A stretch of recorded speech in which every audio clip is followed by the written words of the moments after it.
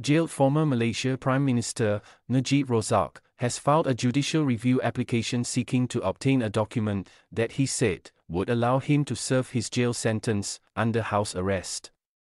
Court filings showed on Wednesday.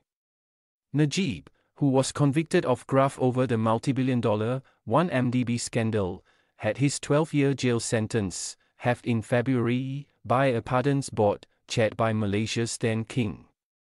Al Sultan Abdullah Ahmad Shah, whose five-year reign ended in January. In an April 1 application to a Malaysian High Court, Najib said he had received clear information on an addendum order issued by the king accompanying the Pardons Board decision that would entitle him to serve his remaining six years under house arrest.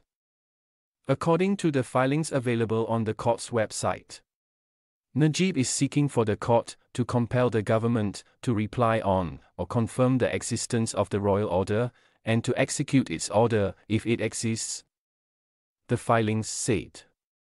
The Office of the Attorney General, a member of the Pardons Board, and the Palace of Pahang, the home state of the former king, did not immediately respond to requests for comment and clarification.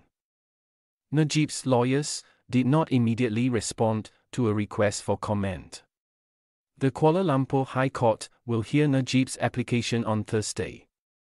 Najib was found guilty, in 2020, of criminal breach of trust and abuse of power for illegally receiving funds, misappropriated from a unit of State Fund 1 Malaysia Development Berhad, 1MDB.